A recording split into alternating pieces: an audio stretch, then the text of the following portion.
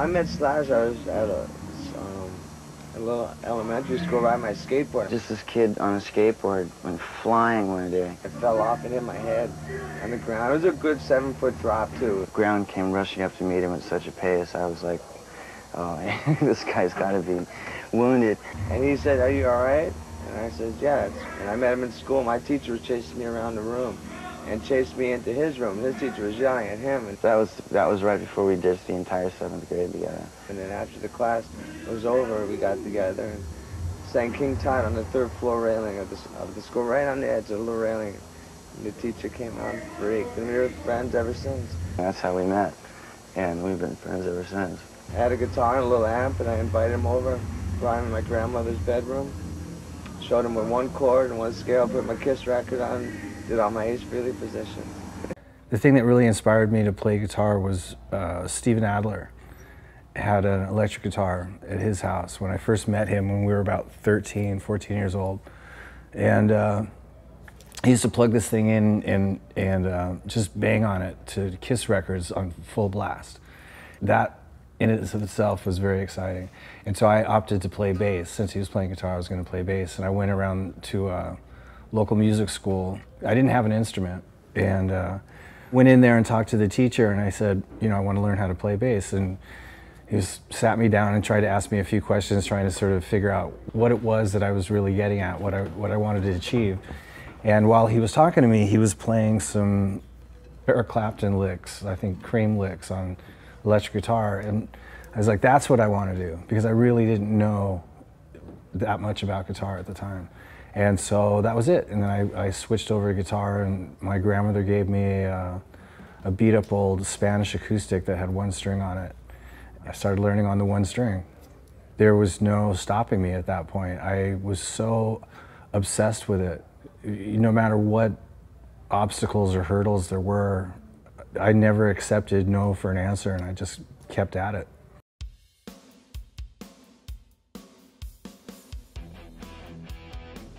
Izzy, as he became known at school, is from Lafayette, the same Indiana backwater as his partner in crime, Axl Rose, or Bill Bailey as he was called back then. So Izzy recalls how in the town they basically rode bikes, smoked pot, got into trouble, and it was pretty Beavis and Butthead actually, Izzy said. So he first met Axl at Jefferson High School in the mid 70s. Izzy went on to say, I remember the first day at school, there was this big effing commotion. I heard all these books hit the ground yelling, and then he went running past me, a bunch of teachers chasing him down the hallway. So the next time Izzy and Axl would see each other, they'd be sitting next to one another in a driver's education class, and that's really where their friendship began. And he thought that his crazy new friend might make a great frontman. And it was Izzy who persuaded the flame haired youngster to have a go at singing. I thought, well, here's a guy who's completely crazy. He's a great singer, though. We had to coax him a bit, and it didn't go so well in the early days. Sometimes he would just come over and stand around like he was embarrassed or he'd start to sing and then he'd just leave. Uh, or he'd just walk out and I wouldn't see him again for like three or four days. So it was in the early 80s, and Izzy was living in a small apartment in Huntington Beach, an LA suburb, where he was occasionally joined by his old indie pal Axl. So Izzy said he came out like three times before he stayed. Then he probably at the end of 82, he came back out with his girl and rented an apartment, and that's when we finally stayed. Forming a band together just seemed like the obvious thing to do.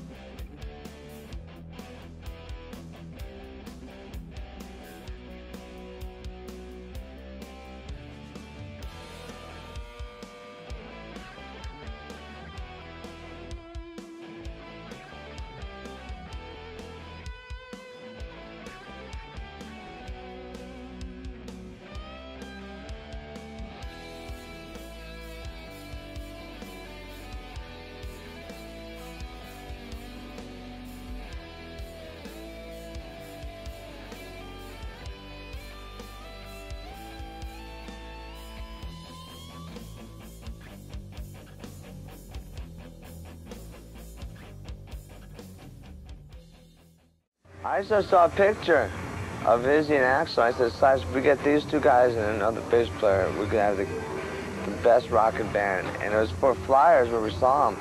And we went to the show, and, and I was right. And we asked them. You know, we met Slash. We ran an ad for a heavy metal punk glam guitarist, blues influenced. and Slash showed up, and we said, nah. But he kept popping up everywhere we were at, and all of a sudden we started working together.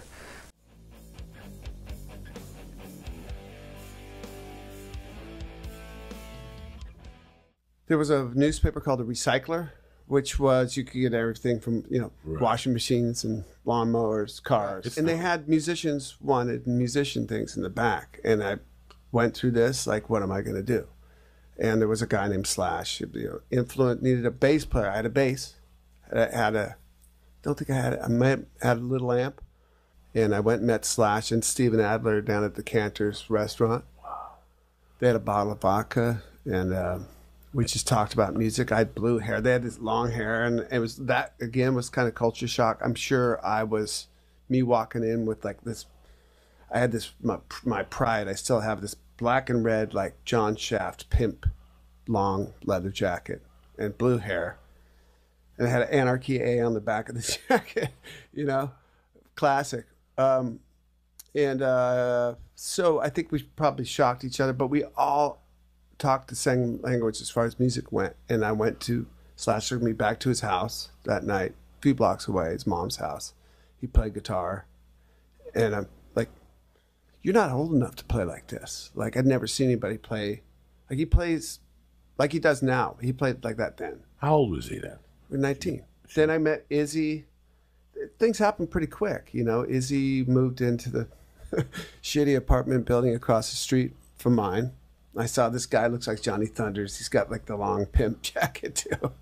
He's at the phone booth, um, and we we talked, and he goes, "I'm starting this band." Uh, me and my friend, this this singer Axl, and I'd seen Slash had taken me to see this gig at the Troubadour, where Axl was the singer of an early version of LA Guns, and I saw this guy come out, and he was like Henry Rollins, you know, he was that intense and real, and like I backed up a few steps, like one of those guys. And This I was love the the thing. Once I think once it was Axl and Izzy. We started playing together. It wasn't Slash and Steven at first. It was the two other guys. Slash and Steven were with Tracii Guns. Uh, no, uh, Tracii Guns and this guy Rob Gardner were, Okay. were in Guns first.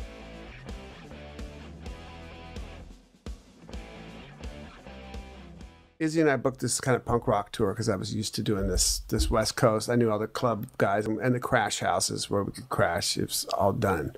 We had a guy who would drive our gear. We got a U-Haul trailer, and um, and that that was kind of the like shit or get off the pot moment for for guns in the history our history. Um tracy and, and rob were just like they'd never done like a tour and like didn't uh, these are punk rock tours then. We're not like exactly knew where you're gonna sleep that night. You didn't know exactly how you were gonna eat. But i'd done it so many times and izzy and axe were like okay let's go. We got gigs booked let's go. And and um those two guys um, Rob and, and Tracii just like basically last minute like we're, we're not going to do it that just sounds too you know uh winging it and to me that was normal like That's normal. these were normal That's things normal. you that's, did That's what you do. and um and that was we're not, we're not canceling this tour man and that's when uh we got together with slash and steven but more than that that when we got together with those two guys the, it was the th- first three chords we played it was like oh that was the best move we've ever made. And and we were off to the races went and did that tour. Well we only made the first gig which was in seattle. A car broke down in bakersfield so we hitchhiked the five of us to seattle. You know how far that is right? We hitchhiked. Oh my God. Who picked all five of you up? 1100 miles we hitchhiked? 1000 miles we were eating onions out of the onion field and like bakersfield and uh, we had $37 all right between us so we went to the truck stop and there was a trucker there. Guy was tweaking out of his mind on crank. He said, uh, "We said we need a ride. We're going to Seattle." He goes, "I'm going to Medford. How much money you guys got?" Medford, Oregon. Yeah. How much money you got? We got 37 bucks. All right, give me your 37 bucks and I'll take you to Medford. And the guy was, we all got in the cab, you know, like the sleeper, like our guitars. And uh, the guy did, he got us to, he dropped us off at one point in, in Sacramento. It was like 110 degrees, man. And we're at the, like the Capitol building on the lawn. There's water fountains and stuff. And the trucker takes off. We're like, he's dumping us here, man. But he, I think he just went to go get more crank. And sure enough, he came back around, got us like in an hour or two. Got us to Medford. Um, we hitchhiked. We got one ride from Medford on the I 5, you know. Uh, this Mexican guy with his little pickup, but we all got in the back and the, it was rubbing the tires. And he's like, I'm sorry, you guys. He took us like five miles. His back tires were smoking. I'm sorry, you guys. I, it's going to ruin my truck. I wish you the best of luck. And then these, um, so we're out there, you know, now we're north of Medford somewhere. Uh, and uh, we're hitchhiking, and it, that this this pickup truck, a real one, like a regular sized pickup truck with a cab in the back. These two women in their thirties, so they were old to us. They said, "You guys, where are you going? We're going to Seattle." They said, Well, we're going to Portland. We can take you that far. But at this point, I'm like, Okay, I'm thinking I can call a friend in Seattle, come down to Portland to get us. And we get in the back of these this girl's pickup. It was like that corrugated back, you know, cab. But they had a window up to the front. And they said, You guys, they said, Look, we passed you guys.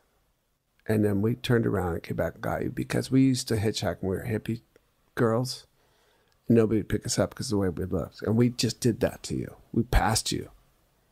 And then we talked and we said, we just pass people that were like us. We pass them for the same reason because they don't look, you know, they look different. And they, they, they were really sweet. I, I, I wish I would have remembered their names because they, they, um, you guys hungry? We're fucking starving. Okay. We're going to stop and get some gas. We'll get you guys some sandwiches. Just come on in the store with us. They got us some beer you know, it was just like angels picked us up. And at that gas station, I called collect to my friend Donner in Seattle. I said, man, we're on a mission, dude. We're going to hitchhiking since Bakersfield. Can you come get us in Portland? He's like, I'll do that. And not only that, I'll throw you guys a party when you get to Seattle like nobody's ever seen. So we get to Portland. There's Donner. He picks us up. These women drops us off. Good luck, guys. You know, never got the trucker's name. He was so tweaked out on, on meth. I don't know. Um, uh, we got to Seattle. There was like this house party, like beyond house parties. There was barbecue and you know booze and uh, chicks, everything. And uh, it's like got to welcome my new friends, you know, to Seattle. Like this is our band. Especially after that hitchhiking trip, we were a band. Yeah. Like don't fuck around with us. It's over. Yeah. Yeah. Um, the gig we played in Seattle, we our gear didn't make it because the car broke down, so we borrowed the Fastbacks gear, who we were opening up for a band I used to play in, play drums in. Um, there was nobody there. We sucked, um, but it didn't matter at that point. So it's like a week or two later, they get back from that Seattle Hell tour. They're at Canter's Deli. They take their first photo shoot here because they booked some gigs and they want photos to put on the flyers. Their, their first band photo was shot at Canter's. That the look on their face in that picture, it says a million words. They know they're a force to be reckoned with. They're now blood brothers because they suffered a little bit on the road at that Seattle tour, and they're just here to just book a bunch of shows and just take it over and we we did it, man. We came back like changed people, I think, and a, and a united band. Anyhow, long story short, we we started playing all five of us together within maybe four months of me being here. So now it's 85?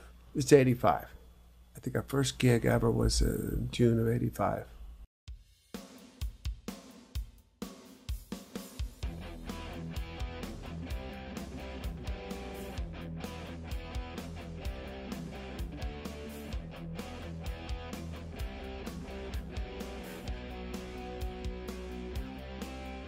It's really funny because like none of us are from Los Angeles, and everybody like tries to label us an LA band, and we just all happened to have met there, and we were the only five guys that could have made up Guns N' Roses. I mean, we had different combinations of us in different bands, you know, throughout the time we were coming up and getting it together.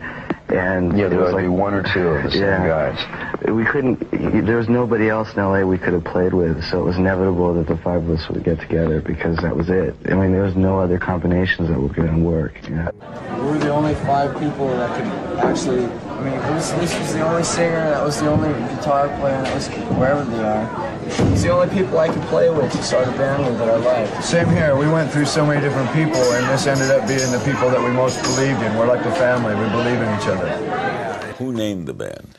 It was uh, a name that came from LA Guns and Hollywood Rose. So it was Tracii Guns and and Axl Rose. Axl's super. He's like, he, super driven guy. He just had a bigger um, worldview of our band. Like he's like, we're we're going. This is going to be our next step and the next step. And like, okay, that sounds amazing. I don't know. We're just writing songs in our shitty little place. You put in the the work. You put in the twenty hour days you know, day after day. We rehearsed twice a day. We were all in. Like we didn't have hobbies. We didn't have other things that were outside of it was all about the band. We made like a mailing list. We had we did all this stuff to like push our band. We'd go after fans, you know, like keep on them, get their address, mail them flyers, you know, get the money for postage postage stamps. And all you do is fold up the flyer, tape the top, put a stamp in their address, and mail it to them we felt separate from everybody else in in Southern California, not just LA. And we so we were like this little gang, you know. We protected each other. We did all that stuff.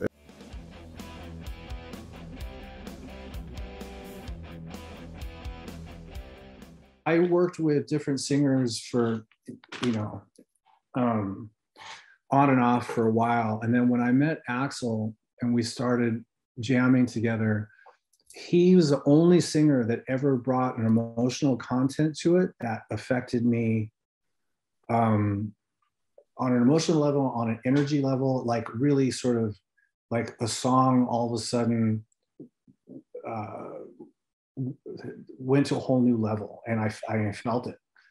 And that's when I, realized, you know, where music and, and vocals really meet, you Yeah. know, because prior to that, everybody that I'd worked with sucked, and I just I had no use for it, and I would just rather play instrumentally than that. But uh, that's when I first really arrived at that that poignant feeling that you get when things connect uh, on a lyrical and, and vocal level and the music level. And then I came to LA and I saw all these people trying to be Eddie Van Halen. And it took five years to find somebody who played more from the heart rather than just trying to be the fastest and trying to do this and that to be a big rock star. Someone who, like, he'll be very quiet and stuff most of the time and really won't let a lot of himself out until he picks up a guitar.